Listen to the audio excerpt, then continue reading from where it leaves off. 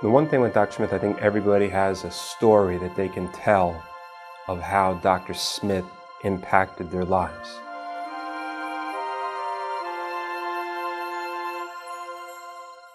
For me, it was about 20 years ago when my wife was pregnant with our first child. I was doing my training at St. Michael's. I was a resident, and my wife was about three months pregnant. And she developed fevers and uterine contractions, and they thought she had endometritis, and they felt we needed to uh, evacuate the embryo. And I was faced with the idea that I'm losing my son, and I called Dr. Smith. It's two in the morning. He was there by 2.30. He looked at my wife, and he looked in her eyes and he says, this isn't endometritis, she has adenovirus. And as usual, Dr. Smith was right.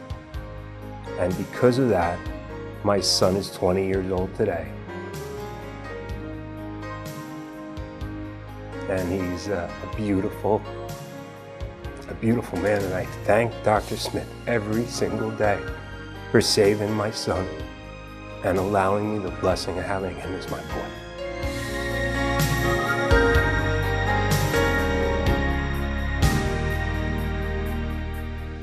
Leon George Smith was born to Phoebe and George Smith on December 3, 1929, in Yonkers, New York. And growing up the eldest of three children, becoming a prominent physician was the farthest thing from Leon's mind. The king of St. Michael's right here. That's right. Growing up, my dad wanted to be a baseball player, and his parents wanted to be a doctor. And he got an offer to play for the Yankees. Um, but uh, he, he turned it down. When Leon was 16, his father was diagnosed with Graves' disease. When his weakness hit, of course, there was no more income. And they were very poor at that time. My father's father eventually made it down to Columbia Presbyterian, where they had the best endocrinology department in the country. But that didn't help. They did surgery on him, and the surgery just uh, exacerbated things. And he died of medical complications that today would have been routinely treated. So my mother asked the doctor, What happened? He said, Someday you'll find out. And that's the one motivating factor in my life. He was really moved by that and, and driven and determined uh, to then go forward and, and have an impact. My father was inspired to become the best physician possible so that others would not suffer in the way that my grandfather did.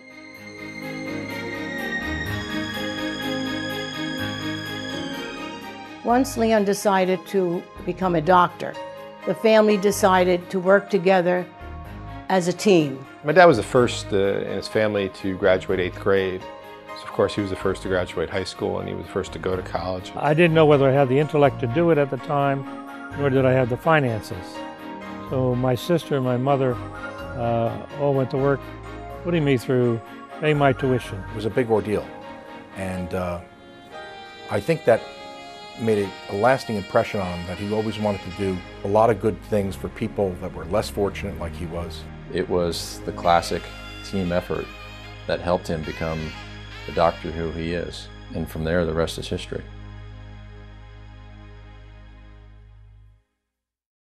After earning his undergraduate and graduate degrees at NYU, Leon studied at Georgetown University Medical School and during his senior year went to Harvard University in Boston to work as an acting intern. That was experience to behold. I mean, I was going against some of the brightest, toughest kids in the world. And, and the professors at Harvard were just wonderful. They took us under their wing. And it was a great experience. And I met some wonderful people up there that I always cherish. Leon then returned to Georgetown where he graduated magna cum laude. I got more awards at graduation than anyone else. And my mother was sitting in the chair. And she would get up and clap. And before you know it, she had the priest on her right clapping. And the whole row would get up every time I got an award. That was the happiest day of her life. After graduation, Leon was offered a full medical internship and got something unexpected as well. I came back to work with my professor, Dr. Harold Jeghers. And while I was there, I met a young nurse to be. I didn't know him, I didn't like him, but he pursued, just wouldn't leave me alone. And things developed from there. And that's been my love of my life for 52 years since that day.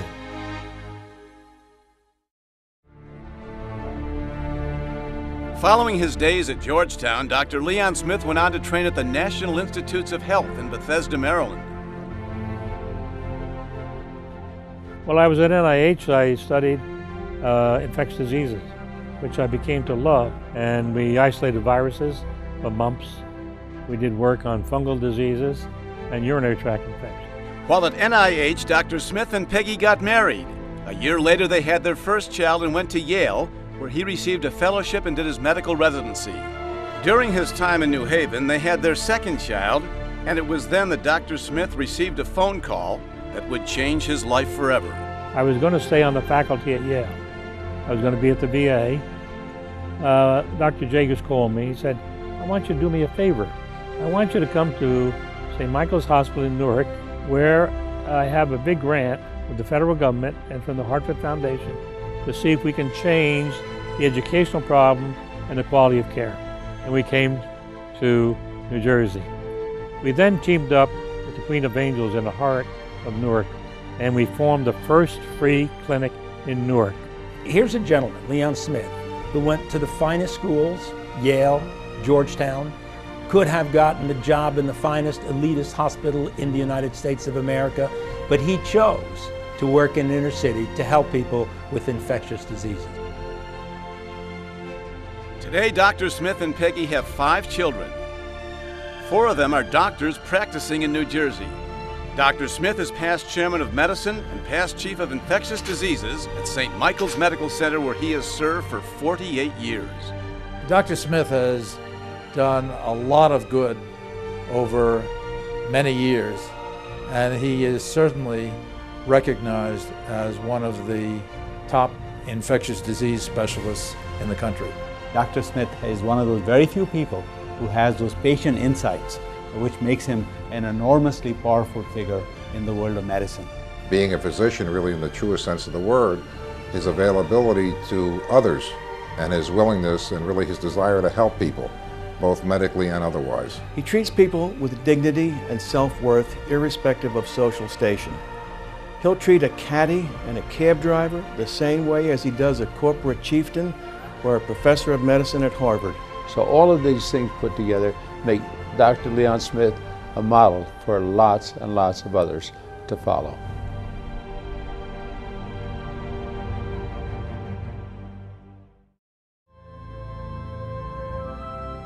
With a strong, well known history of giving back to the community and the less fortunate, more than 20 years ago, Dr. Leon Smith decided to give back again. This time it was by establishing a foundation. In the 1980s, I saw a need uh, to accumulate some money to do research, to pay for fellowship, and to encourage even international travelers to come to St. Michael. And we formed the Smith Infectious Disease Foundation.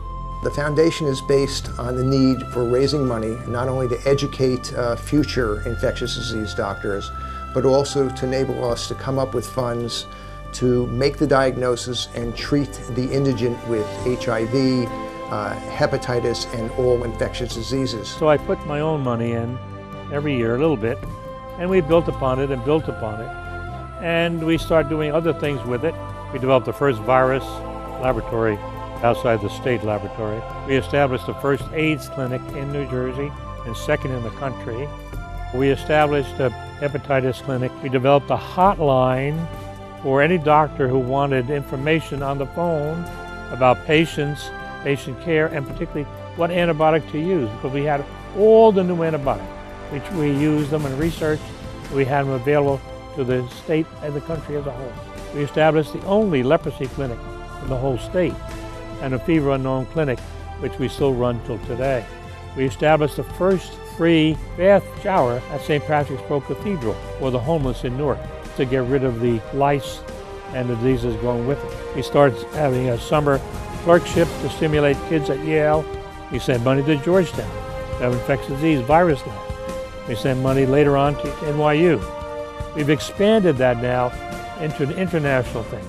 We're doing things in Afghanistan, in Kenya, in Sudan, through the BlackBerry teaching how doctors should take care of patients in these countries in HIV, particularly AIDS. Through the foundation, uh, we hope uh, as a family to be able to uh, even give more back, to provide improved access to care and better quality care for HIV. And while the therapies are effective for HIV, the, there is no vaccine, and it's the hope of every researcher to come up with a vaccine, and we hope to fund HIV vaccine research in the future. With the fact that infectious diseases are becoming more difficult to diagnose, they are changing their formats. And so we need not only new diagnostics, but new types of treatment for them. So the foundation is crucial. Through the years, Dr. Smith has treated many people and has saved numerous lives without expecting anything in return. A year ago, right around Memorial Day, my son had gotten very sick.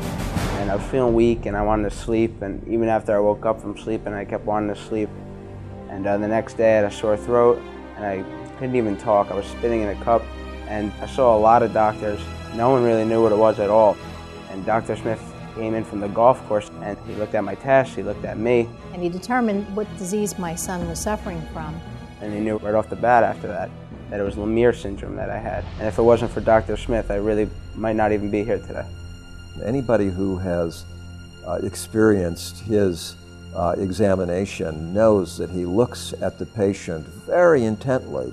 He asks questions, he listens very carefully. He's picking up these vibes through all of his senses, and then he combines that with his astounding intellect and his knowledge of science and pathogens and treatments, and I think that certainly explains why he saved my life and so many others as well.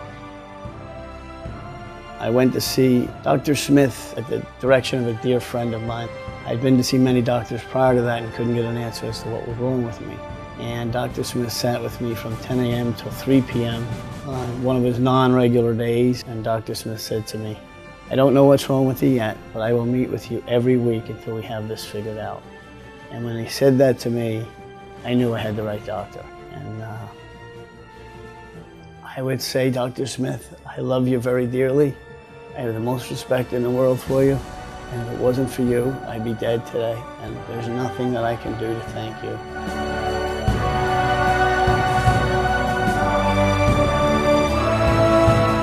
Now more than ever, Dr. Smith needs your help. Dr. Smith's foundation has a lot of really laudable goals. This almost all came apart when the monies for the foundation disappeared. This foundation is so important that we want it to succeed. So I gave up more than half of my IRA money to put into the foundation to keep it alive. I think over the years he's put $500,000 of his own money in this very foundation. We want to match that tonight.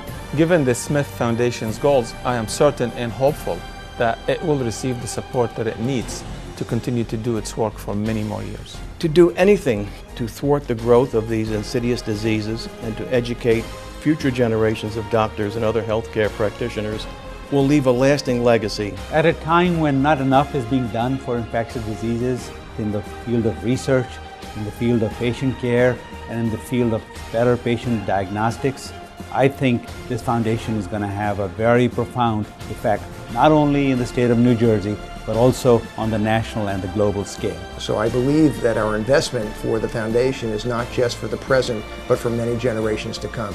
I guarantee with my whole heart that this money will be used for great causes going forward so that the next generation will feel safer than the present generation. One of the best kept secrets is my dad's going to be 81 in December. He thinks he's still 60, but he's going to have to retire at some point, and he'll eventually have to pass the baton. One of the aspects of that is we're going to have to keep this foundation going.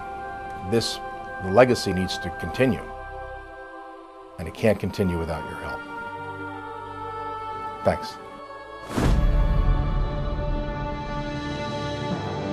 The work of Dr. Leon Smith brings to mind the words of the great American lyricist Oscar Hammerstein, who wrote, A song is no song till you sing it, and a bell is no bell till you ring it.